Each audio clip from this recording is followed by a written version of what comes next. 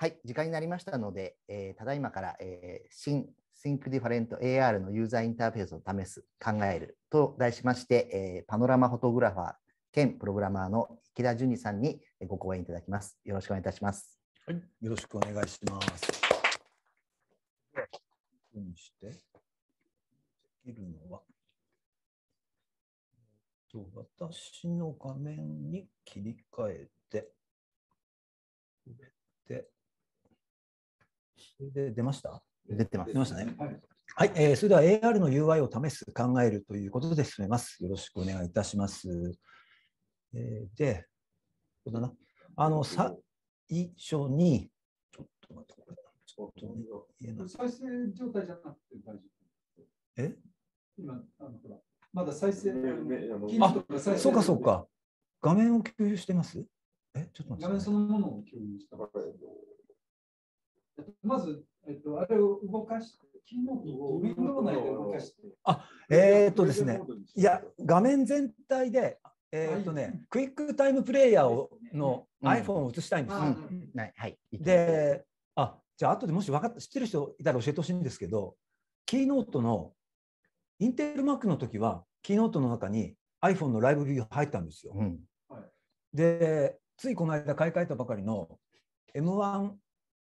M1MacBook Pro だと、キーノートで iPhone の画面がライブビューで出ないんですよ。選べないんですよ。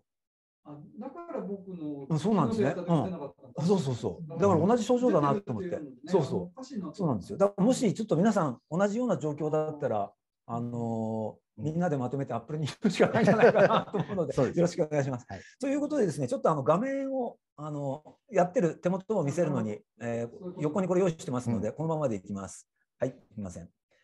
えーと、アップルさんで今、 Tech Talks 2021っていうのを12月17までやってます。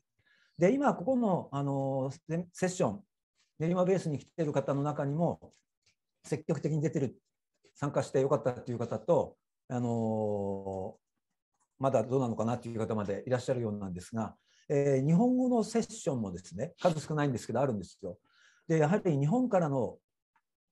アクションっていうか、反応が良ければ、次回からは日本でももっとやらなきゃいけないんじゃないかっていうふうなことを、やっぱりアップルとしても言いやすいと思うんですよね。で、アップルさんからも、あのぜひちょっとこれ、もう一回宣伝というか、告知に協力してほしいということで、話来てますので、えーぜひですね、12月25から12月17まで、えーっと、アップルにディベロッパー登録している人しかこれはちょっと参加できないはずです。で、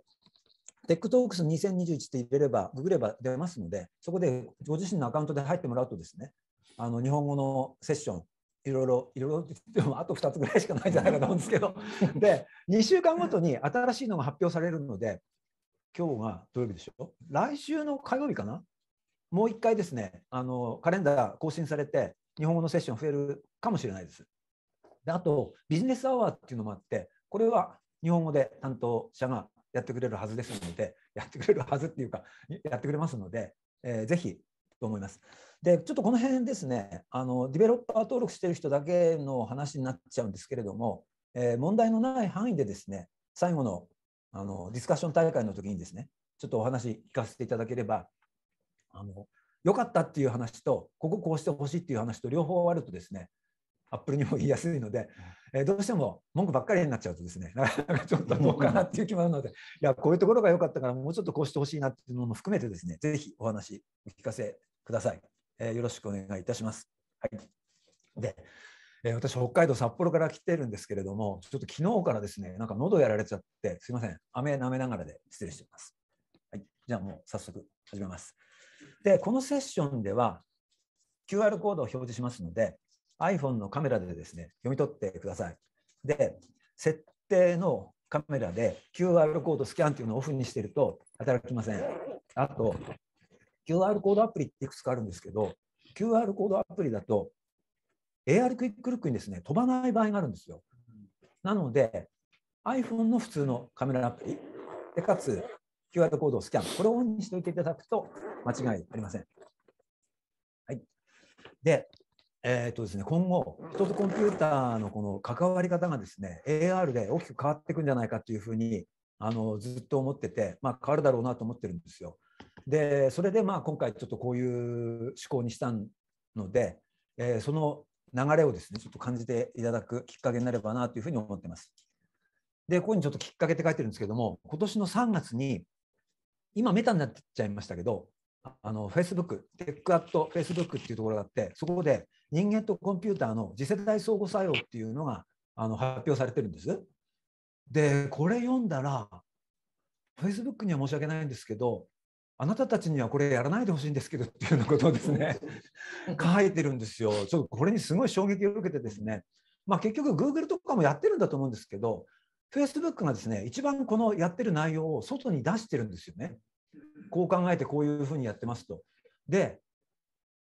未来を一緒に作りたい人はぜひ Facebook に来てくださいということでやっててですねもうなんかまあちょっと某国がですね IT を駆使してですね国民をがんじがらめにしてるようなそういう国もあるのでいややっぱちょっとインターフェースはというような思いもあってですねちょっとあのやった次第です。はい、で、えー、っとスライドっていうので、えー、っと Zoom にも投票機能あるんですけれどもちょっといまいち使い勝手がいまいち私使いこなせないのでスライドっていうのでやります。で、えー、っとスライドの画面これプレゼントよいしょ。はい。で、これで、えっと、左の QR コードを読むか、えー、iPhone でですね、ここでちょっと実際に iPhone, iPhone でこの QR コードを読んでいただくと、えー、こういうふうにですね、スライドのページに飛びます。で、そうして投票できます。えー、まずちょっと AR の話なんですけど VR とか MR とか全部関係してくるので、えー、質問でヘッドマウントディスプレイ要するにオキュラスみたいなやつですよね。これ使ったことがあるかどうか。それからカードボード Google のあのオープンソースになっちゃいましたけれどもこれ。それから AR グラス NDR ライトとか、まあ、KDDI とか今今度あそこ、えー、ドコモさんでも扱うようになりましたけど、えー、こういったものを使ったことがあるか、まあ、これあのジンズ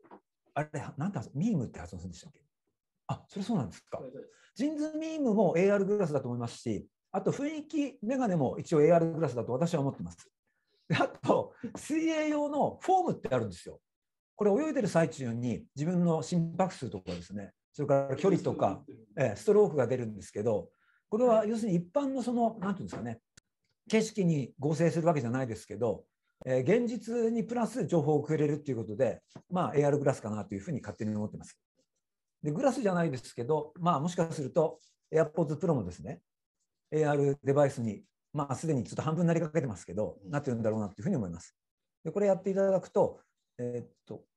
ここか。画面ちょっと切れてますけど、ここで選んで鮮度っても皆さんやっていただいてるから、これ結果が出てるってことですよね。あ、ちょっと、違う。あれ？切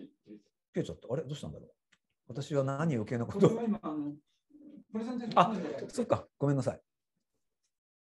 えー、っと、これだ。はい。池田さん、オキュラスとかは何になるんです？オキュラスはヘッドマウントディスプレイです。あ、はいはい。はい。はい。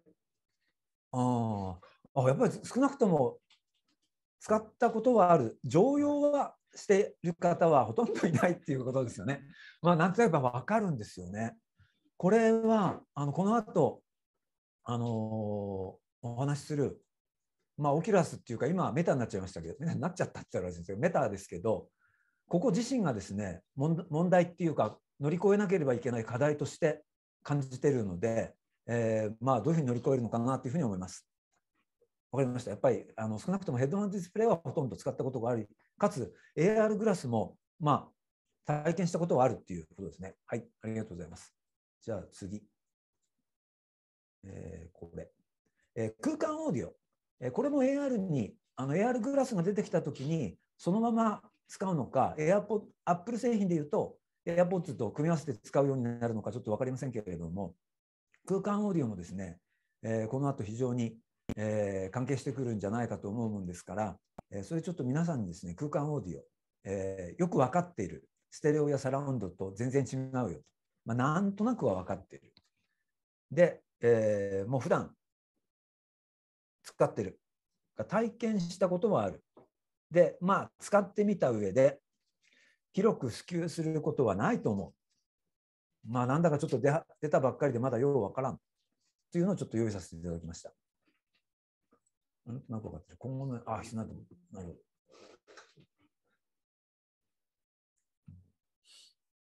これやっぱりちょっといまいちメリットがよくわからないと思うんですよ、今。なので、広く普及するかどうかっていうのをなかなか、あでもやっぱりこれから出てくるというふうに皆さんなんとなく思ってるっていう感じですね。はい。じゃあこれも大体わかりました。あ、そうですよね。やっぱりそうですよね。普及するかまだわからないっていうのは結構半分ぐらいの方。特にこれあの音楽を聴いてるときに Apple Music でまあもう全押しのような状態ですけどまあ正直なんだかよくわからないっていうようなのが正直なところじゃないかなと思うんですよね。あの熱心になんていうんですか？あのいろいろこう効能っていうかね説明が入ってきますけど、えー、確かにちょっと普通のサラウンド映画館のように広い場所で前に画面があってその画面を見ながら視覚でこれは後ろから聞こえてくるんじゃないかとかっていう視覚の情報を音でですね。補助的にあるとサラウンド効果さらに高まるんですけど耳で音楽だけ聴いてて、えー、後ろにドラマーがいて長田どうしてっていうのはですねちょっとなかなかそこまでの分解能っていうのは完全な聴覚だけではやっぱ難しいと思うので、えー、こういうふうに私も思っています。はい、あともう一つ。これ。えー、よいしょ。実際に AR を作ったことがあるかっていうことなんですけど、まあ、もちろんこれ全く作ったことはないっていうのを一番下に用意します。で、リアリティコンポーザー、Adobe Aero、Spark AR、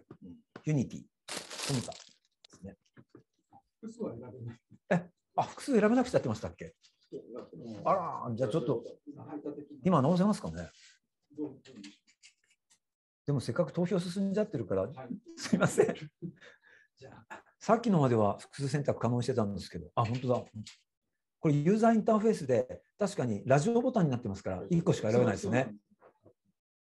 これはパッと見気がつかなきゃダメでしたね。チェックボックスになってなきゃダメだった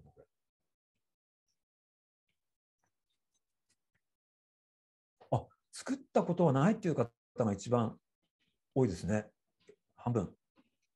ああ、ユニティ結構いらっしゃるんですね。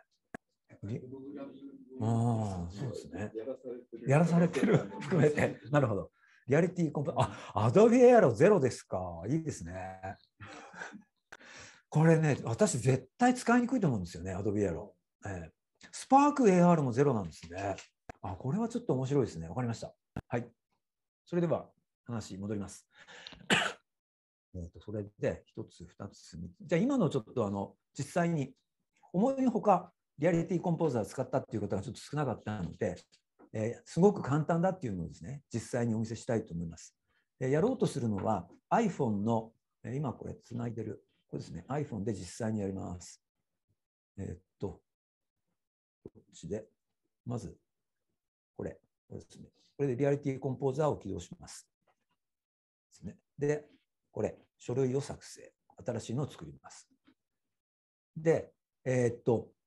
床みたいなところをアンカーにして AR のものを置くのかこれは壁にするのかそれからこれイメージいわゆる AR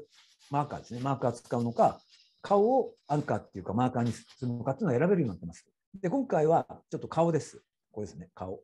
顔をします。そうするとここで顔があってこんにちは。え人が立ってるので壁面みたいな状態になってます。後ろが壁ですよね。でここでこの上の AR っていうところを押すと、もうすぐに AR 動いてですね、えっ、ー、と、ほら、上に、こんにちはってついてますよね。もう、で、この状態のまま編集することができるんですよ。こう拡大したり、ちっちゃくしたり、それから横向けたりとかできるんですけれども、これ手で持ってね、これ編集できるかっていうとできないじゃないですか。で、じゃあ横向けてやるかっていうと、これ回らないんですよね。なので、なんか iPhone 専用スタンドかなんかに置いてやるかっていうと、やってられないから、当然これを編集するときは AR オフにして、これで編集するんですよ。Adobe の AR はなんと、これができないんですよ。AR 状態のままでしか編集ができないんですよ。うんだからちょっといくらなんでも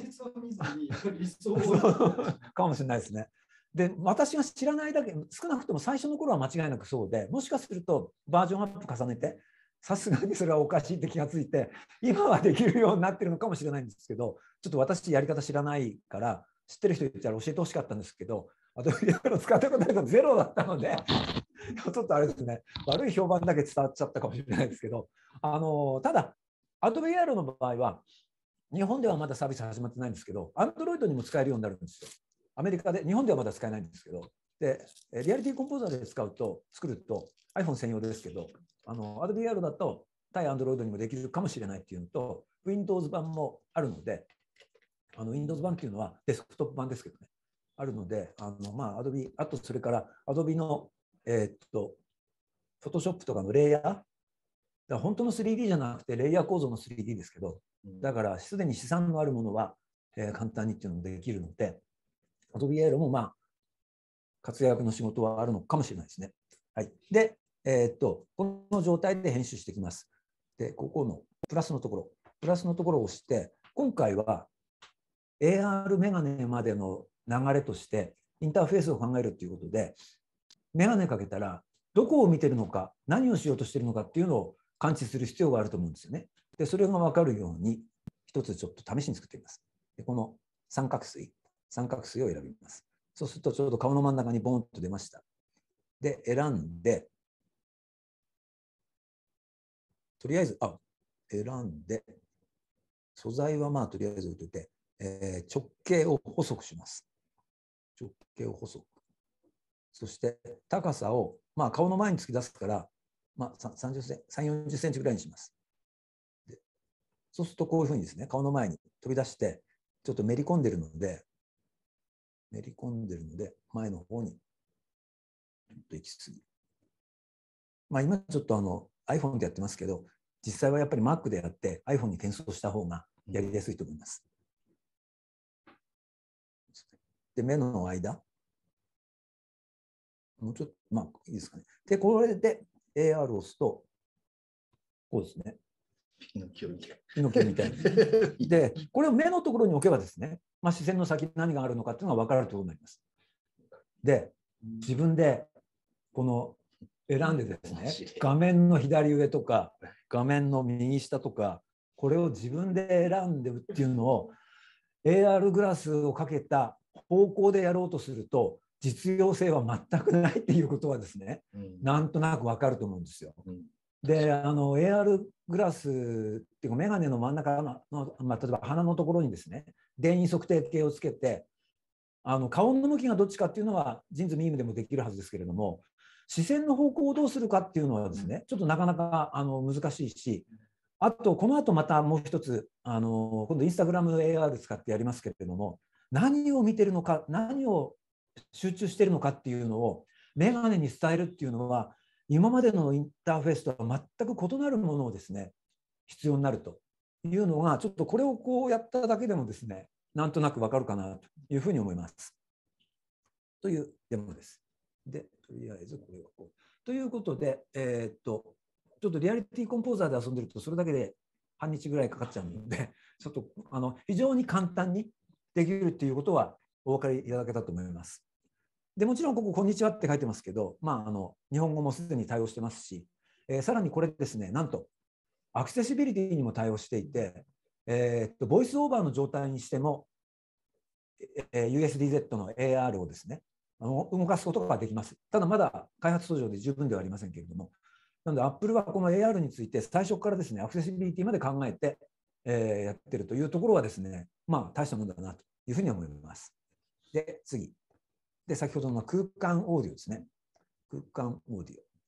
で空間オーディオはあの iPhone でですね、この QR コードを読んでいただくと、えーギガファイル便に置いてありますから、これダウンロードしてください。で、ダウンロードすると、ダウンロードと表示で、ダウンロードすると、どっかに置いてから開くっていうことになりますし、まあ、後でまたダウンロードすればいいやってことだったら、これいきなり表示してもらえばですね、この AR のダウンロードが終わって、この右上のをこうタップするとですね、こう広がります。で、さっきと同じように、目の前にサイコロあります。こう動きますよね。で、サイコロをタップすると、すみませんけど、私の声が流れます。で、首振ると空間音声で、右に振ると右側から、左に振ると左側、サイコロの位置から音が聞こえます。で、これは AirPods Pro とか空間音声対応のえーイヤホン、イヤホンっていうか、で聞くとはっきりわかります。で、これの難点としては、顔がマーカーなもんだから、見切れると音が切れるんですよ。物がなくなるから。要するに、顔に対して行っている AR っていうことは、その顔がなくなると AR 表現も終わらせるっていうことになります。で、えー、と例えば床とかマーカータイプのものについては、Apple ではマーカーがなくなっても、そこに一回定義させたものは、そこにあるっていう状態が続くようにしてます。だ顔の場合と床とかマーカーに置くもので変えてるっていうことになります。まあ、これは多分顔を中心にしてるんだから顔が映ってないのに拡張現実する必要はないっていうことでまあやってるんだなとは思うんですけれども。であのー AR キットを使ったことある方だと分かると思うんですけどワールドトラッキングとかですねいろいろこうどれをトラッキングするんだっていうのと環境設定がいろいろあってですね一度に両方使えないとかいろいろあるので、えーなかなかちょっとそのどれを中心にしてやるのかっていうのはですねまた別の問題で出てくるというそのインターフェースとマーカーとそれから AR の表現をどこまで生かしてどこで殺しちゃうのか。そういうところまでですねインターフェースとして、まあ、あのメガネの前の段階でもですね、えー必要になると。いうことが分かると思います。でこれちなみに今回のはこの今この目の前に現れるやつでやってますけれどもえーっとマーカー。例えばえーっとですね今日は持ってきたかな、うん、えーっとこれちょっと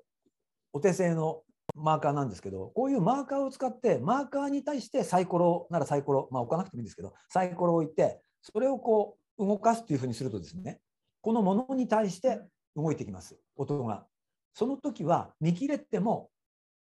見切れても、見切れる寸前のところで物が止まっています。で、あ、そうか。ごめんなさい。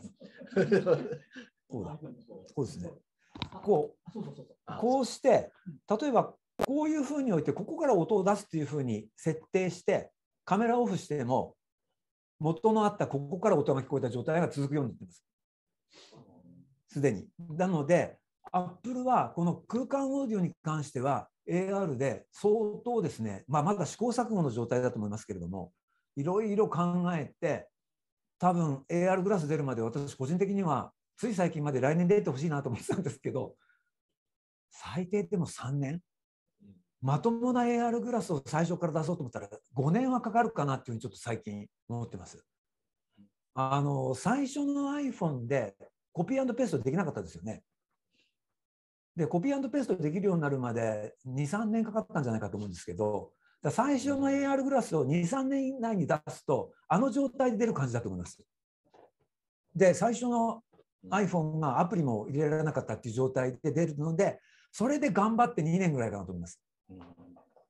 で一般的な AR グラス今我々が思い描くような AR グラスになるのには5年から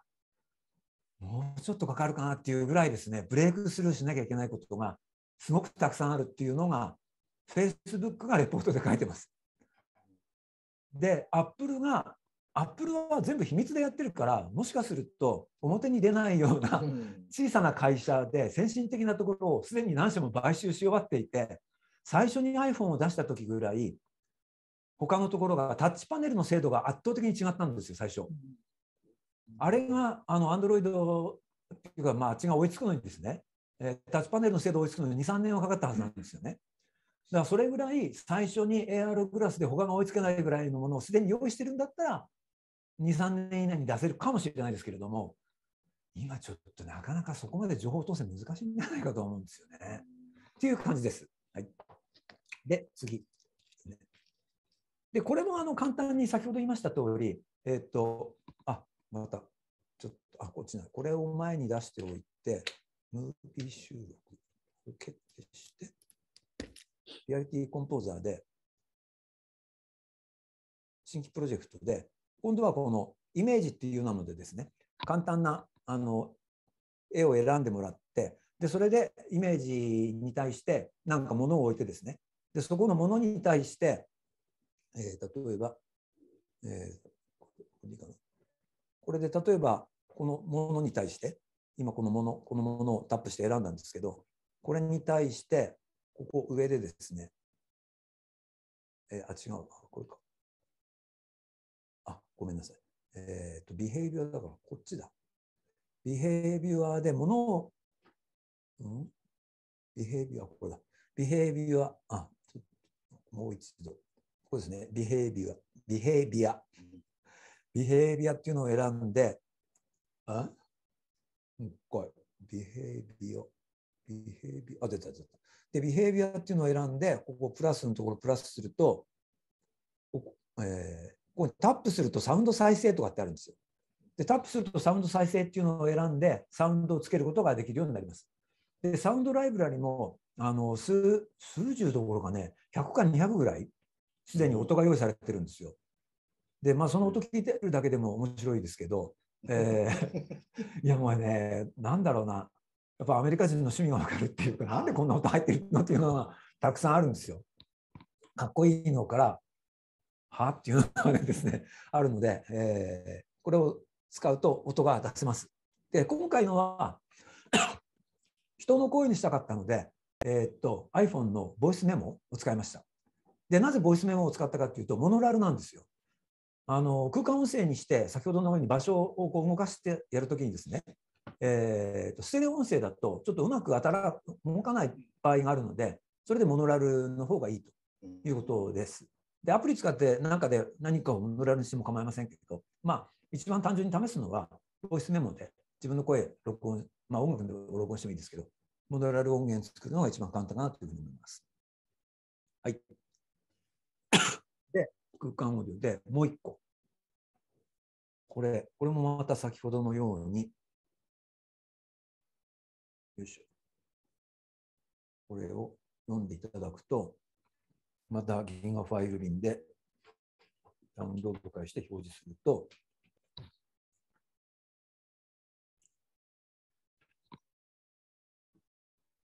で今度は顔の前に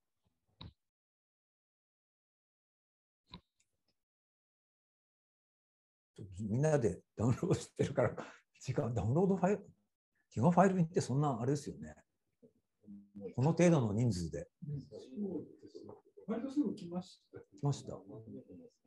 じゃあちょっと私の画面だけあの仕込みにします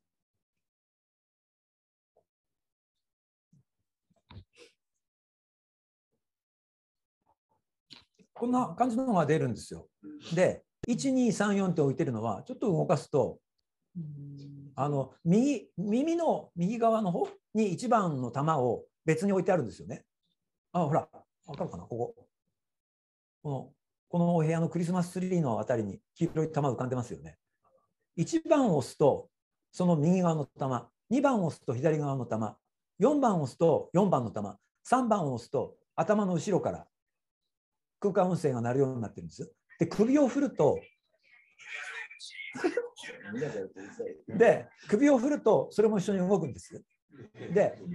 これは何かっていうと、あの FaceTime で、グループ FaceTime をやったときに、それぞれの人が別々の場所から聞こえるようにっていうのが導入されましたよね。で、実はこの3の下のところに、あ、ちょっとこれ仕込みのやつないんですけど、3の下のところにサッカーボールが見えると思うんですけど、サッカーボールを押すと、同じ場所から4つの音が一度に聞こえるようにしてるんですよ。要するに空間音声を使って各方向から別々に音が聞こえるのと1箇所からまとめてモノラルのように4人の声が聞こえるのとでやっぱり人の集中力が違うっていうことで空間音声の優位性っていうかあのちょっとまあ可能性をですね感じていただけるんじゃないかなと思って作ったデモです。でこれもあの今あの AirPods もですねえーっと空間音声をオンにすると歩いている最中に音楽聴きながら歩いてて右振り返ると音がずれるの知ってますかね？やったことないです。要するに、まあ、簡単に言えばステレオ音声で聞いてるときにうん自分の右前に右のスピーカーがあって左前に左のスピーカーがあるんですよ。その状態で首を振るとスピーカーの位置は変わらないから振った状態で音が聞こえる方向が頭とずれるようになってるんですよ。それが AirPods Pro になるのかな？空間音声対応だ。AirPods Pro だと、あ、Max でも対応してるやつは全部そいきますよねそういうになるんですよ。そして、ちょっと試しに首を振ったまま10秒か10秒ぐらい歩き歩き続けるんですよね。そうすると空間音声がゆっくりとぐるーっと正面に回ってくるんですよ。で、これも完成された姿がどうかっていうと、まあ試行錯誤だと思うんですよね。だから、まあこの空間音声の試行錯誤っていうのは、最終的には Apple グラスに向けての客をな、客っていうか、ユーザーを鳴らされる、鳴らさ、ユーザーインターフェースの試行錯誤、アップルとしての研究と、あと空間音声をユーザーに慣れておいてもらう。アップルグラスが来た時には、多分、アップルウォッチも使い、イヤーも使い、それを使うことによって、あ、メガネだけでは実現できないコンパニオンを行うっていうことで、そうすると、アップルグラス安くできるんですよね。うん他より。すでに耳と腕につけてるから。で、場合によっては、ポケットに入れた小さな iPhone mini。そうなった時にはもしかするとミニでいいかもしれないですよね。うんで、ミニでまた別のデータを取得すると。で、それを総合的に全部使って、 Bionic プロセッサーで機械学習すると。で、機械学習も今や単体でできるようにまでなってきてますから、っていうのがもうすべて、まあ、 Apple Glass だけではなく、もちろん自動運転の車の方にもそれつながってくるんだと思いますけども、それプラスマップですよね。マップのデータを一生懸命やってるっていうのも、まあ、こっちは多分車の方が大きいのかなとは思うんですけど、アップルグラスができたときに、やっぱり一番最初にみんな試したいのは道案内かなっていうふうにも思いますしね。一番わかりやすいのはそうかなと思うし、っていうのはあるので、やっぱあのーマップ一生懸命やってるっていうのはちょっとその辺かなというふうに思います。で、なんとなくこれで空間音声っていうのが、まあ、なんかちょっとようわからんし、これ、これが完成形ではないのはその通りだけど、ちょっと可能性はあるのかなっていうのは、なんとなくインターフェースに使えるのかっていうのは、お感じいただけたんじゃないかなというふうに思います。で、次。よいしょ。えーっと、これから順番にやっていく、えーだから、Google、Amazon、Microsoft、Apple で、メタということで、えーもうみんな我慢してるっていうことじゃないかなと思うんですね。最近お前ら儲けすぎだっていうことで、もうどんどんどんどんやられてるので。で、最初に Google です。で、Google の AR、VR の状況っていうことで、えー見ていきます。あの、っていうのは、Facebook と Apple、他のところに比べて、Facebook じゃないや、メタと Apple がいかにそのコンシューマーに対して相当をしてるのかっていうのは、この露出していく情報量の差で分かると思うので、えーあの枚数は多いんですけど、どんどんどんどん先きます。Google はやっぱりこれ、あれなんですね、Google ストリートビューと結びつけたいんだなと思うんですよ。一番最初にやっぱりこれ、ストビューの絵が出てきます。で、その次は、あのーなんていうんですか、えーこれ、要するに、取扱説明書みたいな感じですね。えーまあ、これ、何かを直す、えーだから、マイクロソフトのホロレンズ的な使い方をイメージしてあると思うといいと思います。これ多分 Amazon も考えるんじゃないかと思うんですけれども、その商品のバーコードを読むとですね、要するにその商品は何なのかっていうのを機械学習でやるよりも、大体ほとんどのものバーコードついてるんですから、バーコードを読ませればもうそのものズバリいくから、バーコードを読ませればいいんじゃないかなと思いますけど、まあ、バーコードを読んだ上で、あのさらに、えー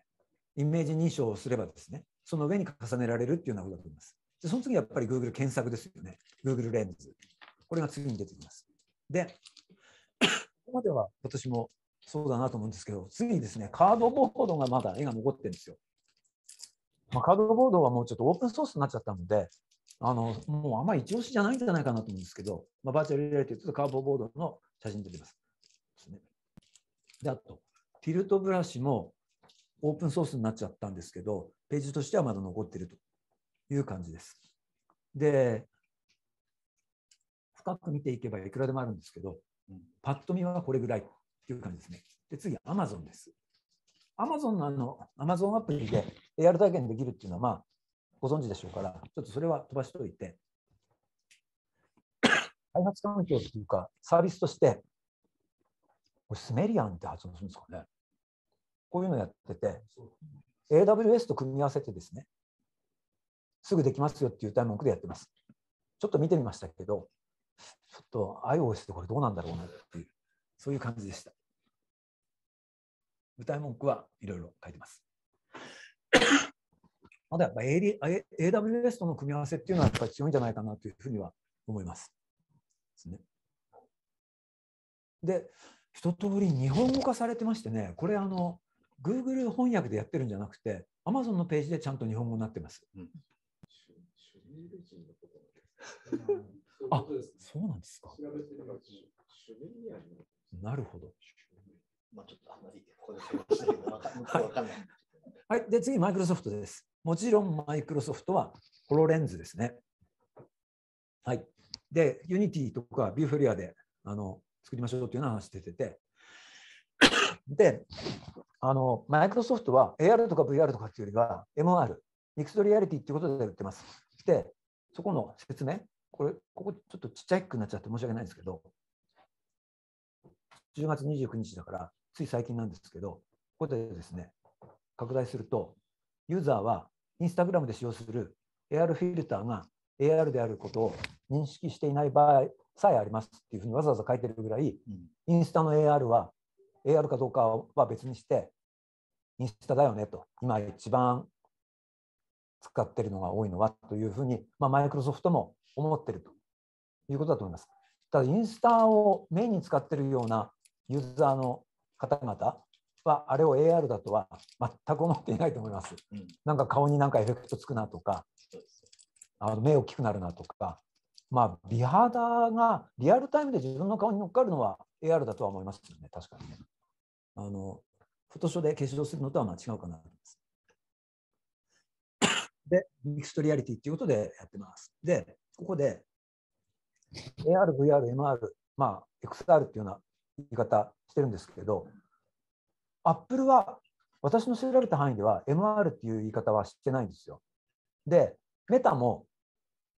私の見た範囲では MR っていう言い方はしてないんですよね。で、Apple は AR と VR は明らかに違って、例えばティム・クックも VR よりは AR の方に可能性があるっていうか、あのまあ、社会のために役立つっていうか、言い方は難しいですけど、えー、そういうふうに全面的に AR っていう言い方の方が多いんですけど、ただ AR のコンテンツ作るのには、やっぱりヘッドマウントディスプレイ的なもので CG で作るっていうことなので、ですからまあ VR を別に否定するものではないという位置づけだと思います。で、この後もあの Facebook メタ出ますけど、メタも MR っていう言葉は使ってなくて、ただ AR と VR っていうのは今後数年で区別がほぼなくなっていくだろうと。で、AR よりは VR の方が簡単だと。で、VR のヘッドマウントディスプレイに、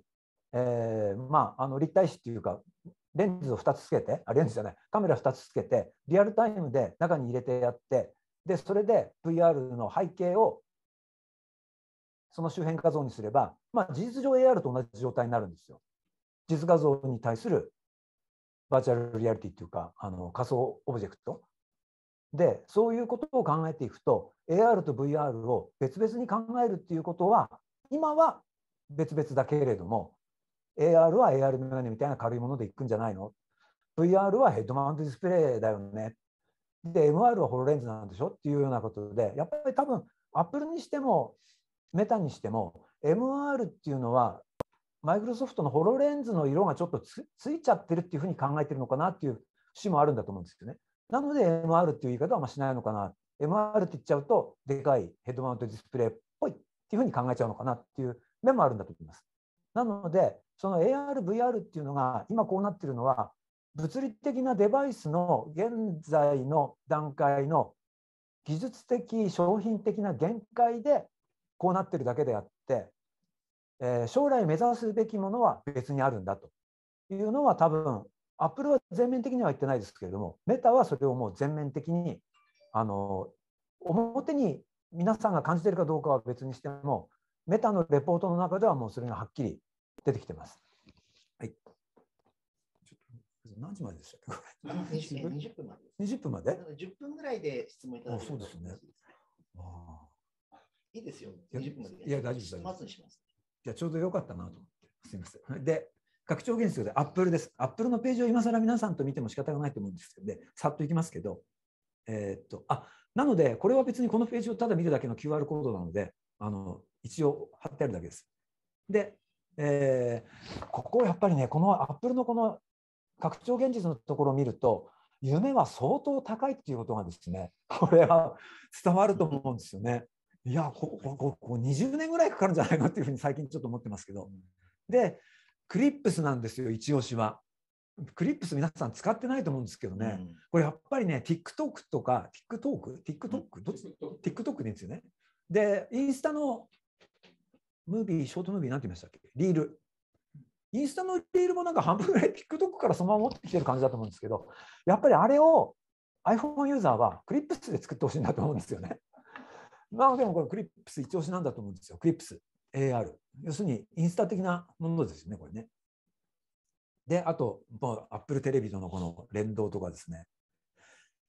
で、ハードウェアとソフトウェア、連動。この辺はやっぱり Apple のならでは、で ARKit5 でこうなってますよと。で、 Face Tracking の対応も拡大、 Location Anchor です。で、 Scene Geometry、 People Occlusion、インスタント AR、モーションキャプチャー、フロントカメラとバックカメラの同時使用で AR を。これの作例って私ちょっとまだ見たことないんですけど、フロントカメラとバックカメラ確かに同時使用できると面白そうなんですけど、これ使ったアプリってもあるんですかね？もしご存知でしたら教えてください。あのデュアルカメラで撮るぐらいの感じはありますよね AR ではないではないです。これ、あくまでも AR キットの話なので。で、あと、リアリティキット2。で、オブジェクトキャプチャーですよね。まあ、やっぱりこの辺は、大きなものはちょっと結局カメラで撮らなきゃダメなので、ないんですけど、えー USD-Z を簡単に作って、AR グラスの前にできるだけコンテンツを用意したいんだろうなということで、作ることのサポートも非常に強くなっています。ですねえーで、この辺ですね。制作ツール。さっきのあのリアリティコンポーザーと、CG から変換するリアリティコンバッターっていうのもあります。リアリティコンバッター。で、これあの、デモさんのミニでリアリティコンバッター使って遊ぶのを一つご紹介します。で、AR クイックルック。で、AR クイックルックにはアニメーションも入りますよということです。で、3D モデル。で、バナーで飛びますよと。飛ばせますよと。そうですね。で、例も載ってます。こんな感じですね。で、これ、日本ではちょっと、あのー日本のページではないんですけど、アメリカで地下鉄に iPhone、Apple Watch で Apple Pay 使えるようになりましたよっていうことで、AR クイックルックで体験できるようになってるんです。で、実物大なんですよ。なので、広いところでなければ試せないのと、うんライダー搭載の iPhone Pro で試すと、オクルージョンが働いて、部屋からはみ出した分は全部見えなくなるんですよね。だからこの辺が難しいところで、まあ、ちっちゃく、小さくですね、ピンチで小さくして試すことはできるんですけど、あの試される方はこの QR コードでです。で、これも AR メガネで試せば、これが見えるから分かるんですけど、これを iPhone に試すっていうのはちょっとだからまだうんやっぱりちょっと厳しいかなというふうに思います。ただ、流れをこれで分かるっていうことではですね、なかなか面白い取り組みだなと思います。これ、アップル作ったんだから、中にうまく入れると、電車がちゃんと左から来るんですよね。空間音声になってるのかなと思っていろいろ試してるんですけど、どうもちょっと空間音声になってない疑惑がありましてですね、ちゃんと電車に合わせろよと思うんですけど、もしちょっと、いや、そんなことないと、これ空間音声になってるっていう方は、ちょっと教えていただければと思います。まあ確かにちょっと日本でね、 Suica を、最初に Suica があって、それが iPhone に入れば、2段階の体験なのでいいと思いますけど、アメリカみたいにいきなり最初に NFC と iPhone が一緒に来て、その前にカードのモードがないっていう方が多いとですね、うん。ちょっと混乱確かにするかなっていう気がするんですよね。ええ。えーで、これはちょっと AR のものの使い方としてはですね、非常に面白くできているのかなと思います。はい、で、こういうのも、まあ、なんていうんですかね、え、あのーここまでかっちりしたものを作ろうとすると大変ですけど、iPhone Pro か iPad Pro で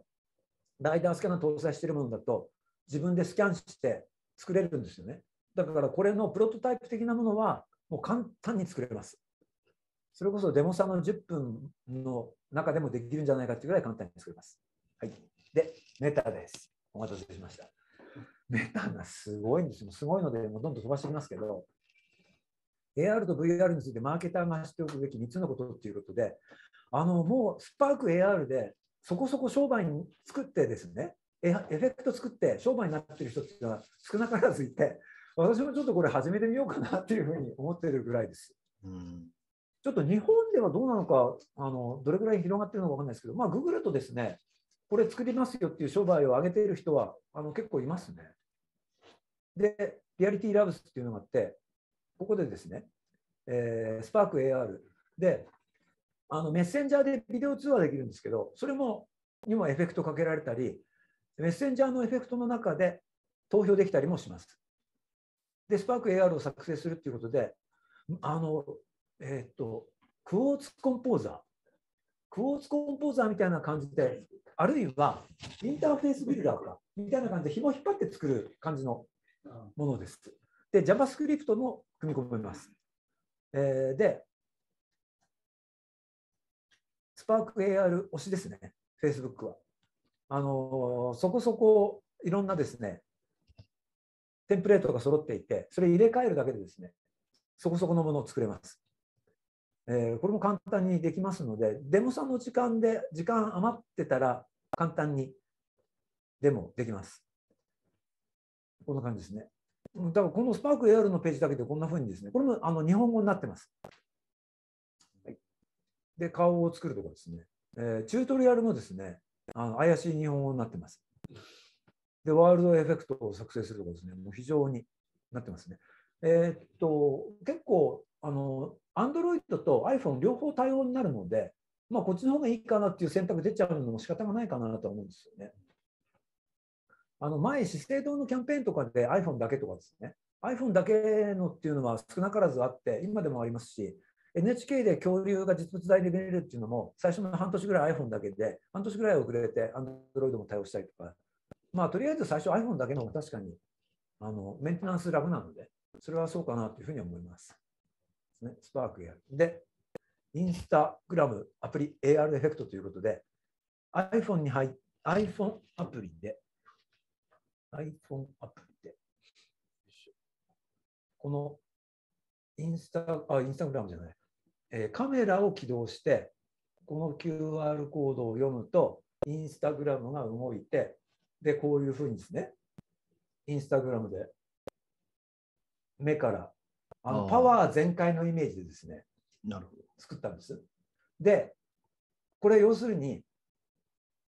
ちょっと感じてほしかったっていうのは、さっき視線で何を見てるかわからないっていう話しましたけど、まあ、要するに、仮に AR メガネにカメラを積んで、ユーザーが何を見てるかっていうのが分かったとしても、もうユーザーの興味何なのかっていうのはバーッとこう、なんていうんですか、方線で言えばですね、大量に飛んでて、うんどれをユーザーが注目しているのかっていうこれぐらい多分分からないと思うんですよ。それをこれで なんとなくイメージとしてですね、伝わるかなというふうに思いました。だから AR メガネに何かやらすっていうことは相当大変だなというふうな感じがします。例えば、多分 Apple はですね、AR メガネにカメラは搭載しないんじゃないかと思うんですよね。ライダーは積んでも。要するに、プライバシーの問題があるから。でも、一番単純な問題として、AR グラスにカメラ積んでなかったら、例えば QR コードが街中で見かけても、その QR コードは AR グラスでは読み取れないんですよ。まあ、それが必要かっていうのは別ですけどね。例えば、メタの Facebook の今出た、えーっと、どこでしたっけ、令和令和のカメラ積んでるんですよね。あれ QR コード読み取れないですけど、あカメラ積んでれば、まあ、街中に QR コードだったら、そのまま情報を取得できますけど、まあ、少なくとも Apple がもしカメラ積まなかったらそれはできないということになるんですよね。で、これちょっと、エアあの Apple のメガネは QR コードも読めませんとかってやるかもしれませんけど、私はこれは iPhone はワンセグ見れませんよねって言ってたのと同じ状況になるんじゃないかと思ってるんですよ。QR コード自体がなくなる。で、QR コードがまだな残ってて役に立ってる間は、まあまあ、なくなる、完全になくなるとは言いませんけれども、ワンセグだってなくなってないんだから。だからそういう意味では、その最初の iPhone が、あそういうふうにちょっと片肺飛行だったように、最初の AR グラスはちょっと片肺飛行的なものになるのかなっていうのは、そういうのもちょっと含めて感じてます。で、そうですね。で、次のが、次はこれ。で、これはですね、その AR の、あこれもまたちょっとこ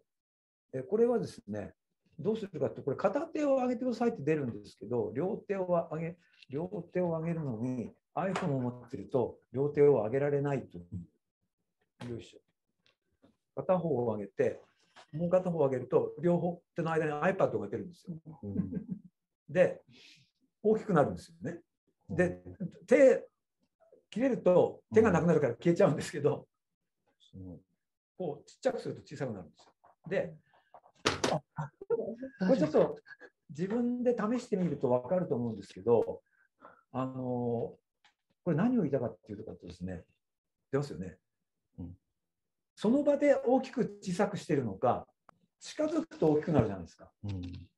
要するに 3D オブジェクトが大きい小さくなってるのか、近づいてるのか遠くなってるのかっていうのは、今手が一緒に動いてるから、手の大きさは変わらないっていうのは人間わかるから、手と比べてどうなんだっていうのが働くとですね、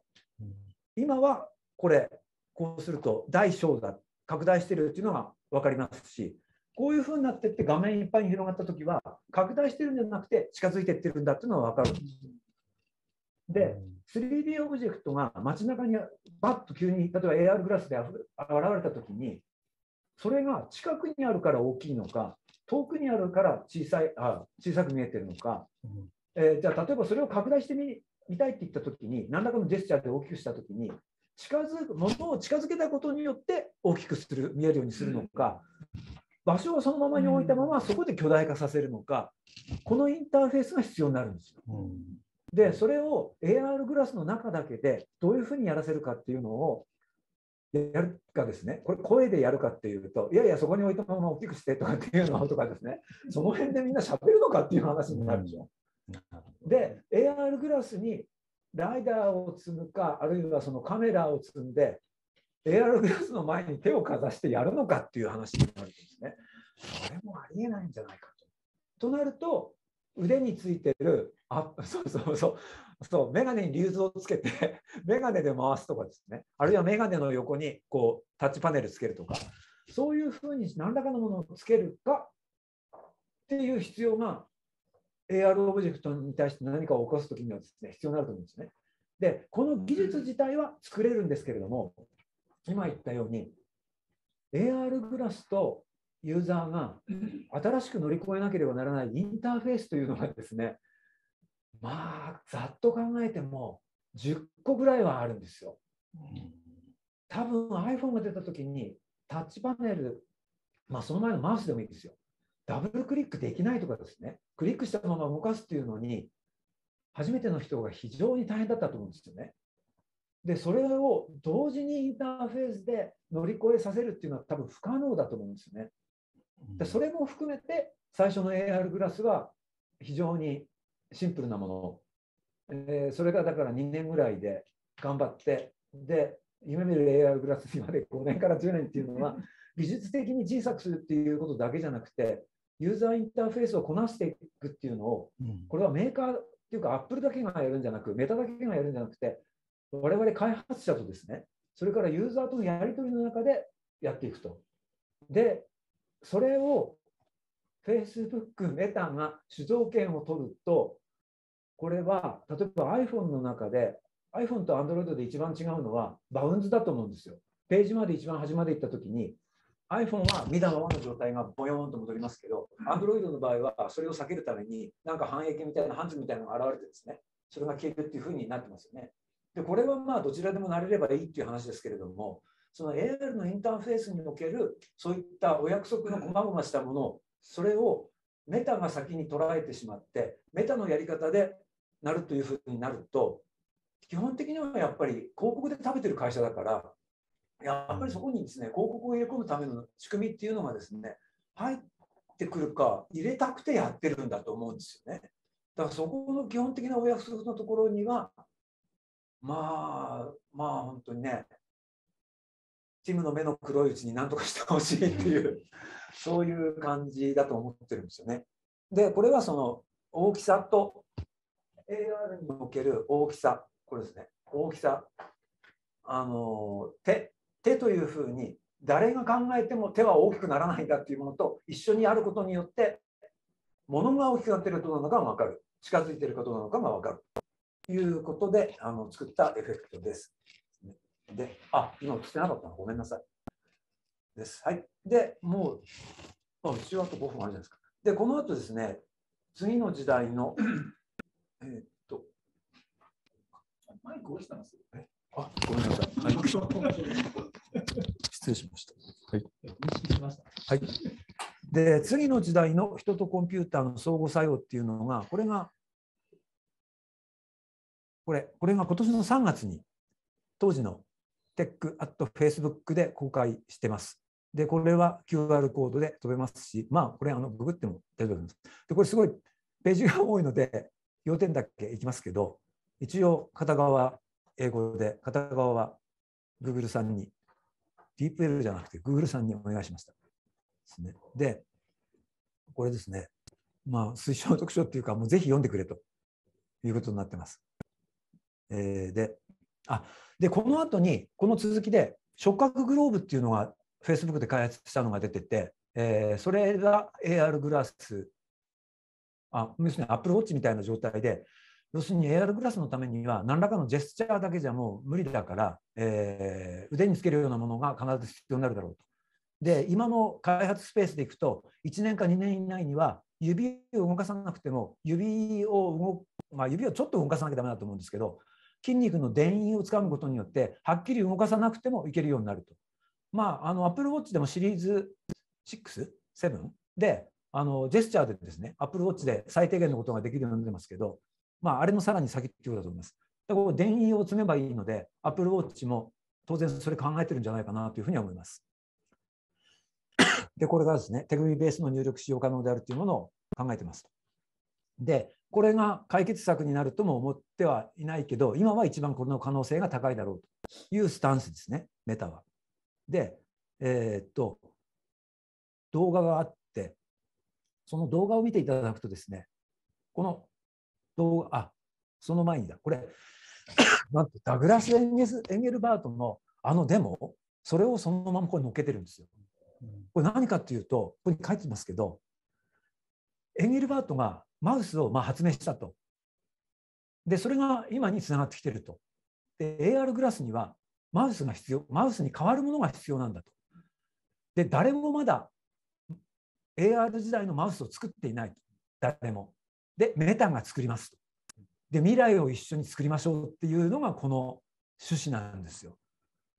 なので、ちょっとこれを3月に見た時にはもう非常に恐怖を覚えたっていうか、これやばいんじゃないのというふうにちょっと思ったんですよね。それで今日まあちょっとお話してる次第です。まあ、あの、もちろんザッカーバーグさんがね、心を入れ替えてって言ったら申し訳ないかもしれないですけど、あの、今までと違って広告重視じゃなくなるかもしれないのでですね。で、延々とこの後はですねそのダグラス・エンダグラスエンゲルバートのあのややったこととかなんとかっていうのがまあありましてで眼鏡を終日使うようにするためにはもう無限とは言わないけれども電源問題それから配線の問題それからセンサーの問題装着感それからまあ、例えば老眼の人どうするのとか含めてですね超えなければならない課題がもう無限にあるっていうのがこうずっとこう続いててですねもう大変だ大変だしかないんですよ。でこうずっといきます。でさらに、えー、先ほどの電位差を使っただけでもそうですねこの辺はあ電位差を使っただけでもあのユーザーの思い何をしようとしているかわからないので機械学習を使ってですねこの人の行動パターンから、えー今のそのやったのは今はその腕のセンサーを動かしたのは予定表のことをやりたいのか他のことをなんか考えてるのかそれも機械学習で判断させて時間時間とかあと場所とかも含めてですねっていうのを機械学習でっていうのをそこまで全部メタに渡しちゃうのかっていう話にもなりかねないですよね。えーですね。まあ多分ねバッテリーは確かに大変だと思うんですよね。ということでいきます。で AR のインターフェース AR のインターフェースの構築は困難で長期的な作業ですね。こういうふうになってますということで、えー今後10年間と言ってます。Facebook は。なので、そう簡単には出ないんじゃないかと思います。でもうちょっと、あれですね、あのこの後はまあ同じことの繰り返しなので、あとはこの一人称視点っていうところ、これがあの AR、その人が見てるままっていうところですね。これがまあ変わっていくっていうところになります。で、ジョブスっていうことで、Apple ジョブスって調べると、Apple の募集条項がこう出てますので、AR と VR でどういう人材を集めているのかっていうのはやってます。で、この後、未来を発明するっていうことで、えー3年前、4年前ですね、あのこの時にももうすでに相当ですね、えーこうやってますので、これもちょっと量多いので、えーぜひちょっと Facebook がメタバースどころか、もっとそれ以上のところをですね、狙ってるっていうところをですね、ちょっと感じていただければということです。はい、ということで、お楽しみはこれからですっていうことになるようにですね、あの開発者とですね、もうぜひ Apple と開発者でユーザーと協力して、えー悪夢が来ないように、えーできたらなというふうに思います。えーちょっともう時間もいっぱいいっぱいになったので、もうちょっとこの後ですね、ランチ休憩があるもんですから、あの開始、あるいはデモさんの時にですね、うん最後にお話聞かせてください。すいません。以上です。はい。はいじゃあ池田さんありがとうございました。はい